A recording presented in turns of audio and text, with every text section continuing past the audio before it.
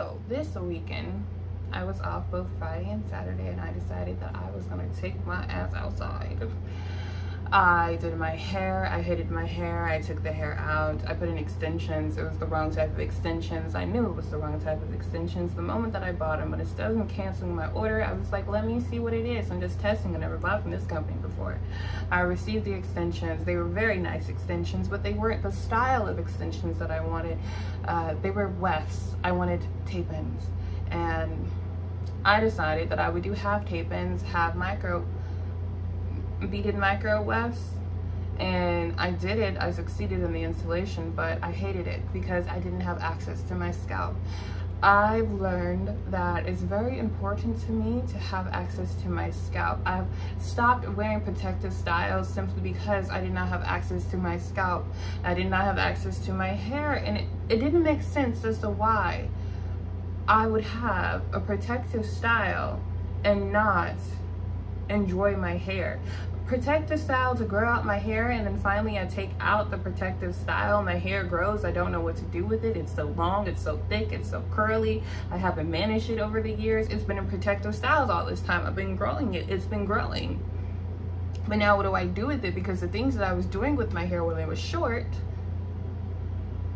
I can't do the same thing. It takes more time because it's grown longer. It's getting more tangled because it's grown longer. And even though it's healthy, it's very healthy. I've been protecting it. I've been taking care of it. I've been nurturing it. It's still being put up. I do not have access to it. It's always put away. So I stopped wearing protective styles. And that was a realization that I had to go through and I do still wear extensions. I just don't wear extensions that cover up my entire head anymore. I find it uncomfortable. Now that I've had access to my scalp for such a long period of time, I find it uncomfortable to braid my hair down and then cover it continuously with something else. I do like extensions. I do understand the reason for it. Um, I do like them simply because I can style them in ways that I can't style my natural hair. I like body wave curls every once in a while. I like wand curls that go down. My hair don't go down. I can't do this with my hair, you guys. my hair sits on top of my head. No matter how long it grows, it's always going to sit on top of my head. And I am okay with that. I love my natural hair, but I can't do with it the things that I can do with kinky curly well kinky straight hair. I love my hair. It just doesn't do the things that extension does. So i'll put in extensions every once in a while but it has to be with certain type of extensions now because i no longer can live life without access to my scalp. I now find it uncomfortable now that i'm no longer wearing protective styles I also style my natural hair. If you watch any of my past videos, you will see me actually styling my natural hair.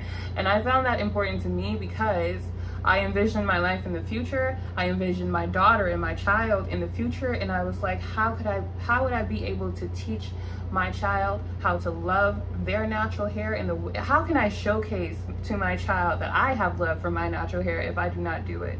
How can I teach them how to love their natural hair if I do not do anything with my natural hair? And I understand, you know, teaching how to nurture and grow and take care of your natural hair, but also styling is uh, an input, is a factor in all of that.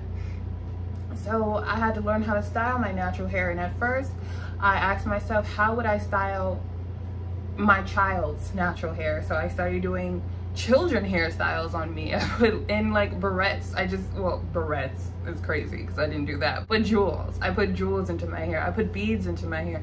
Very grownish styles. If I can find a way to edit it to where you can see the styles that I did over the, the past, what, two years. Have a good day. Cause all my people outside today and all my people want to fight today. Hey, we're gonna have a good day. Cause this bitch gonna get sliced today and all these different all types we're gonna have a good I just day. tried all these different styles in my natural hair and I went back to base rate. I went back to kindergarten. I went back to elementary school because that was the age that I had in my life where my mom was doing my natural hair. Before she permed it, after she permed it, she was still doing the hair that grew out of my scalp. Now, my middle school years, oh, fourth, fifth grade, past those years, that's when I started getting extensions and protective styles, but I was also having perms and my hair was brittle and it was breaking off and it's a whole story, a whole journey that I went through with my natural hair, the hair that grows out of my scalp.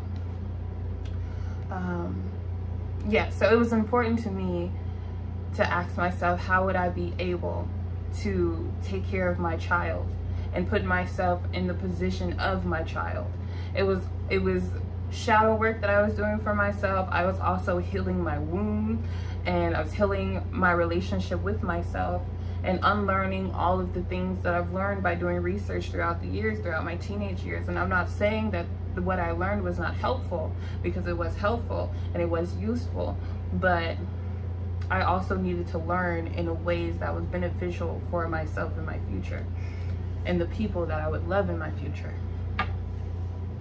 So to conclude, I'm not saying that protective styles are bad because they, they do have their place in this world and they do allow you to do things that you wouldn't be able to do otherwise with your natural hair. But I also find that it's important to learn how to style your natural hair.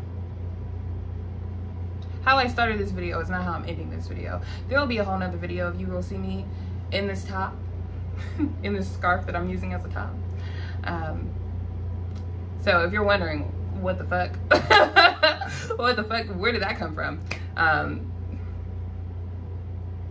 ignore this video because I know people are actually going to be more more interested in what I'm about to say next.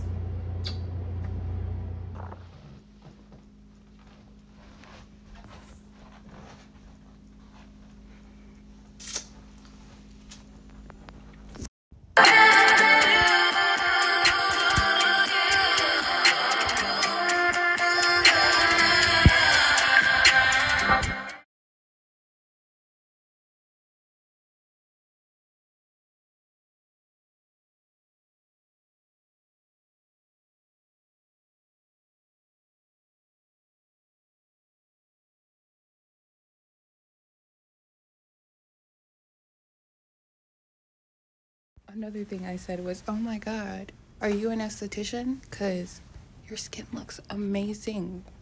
Do you give facials?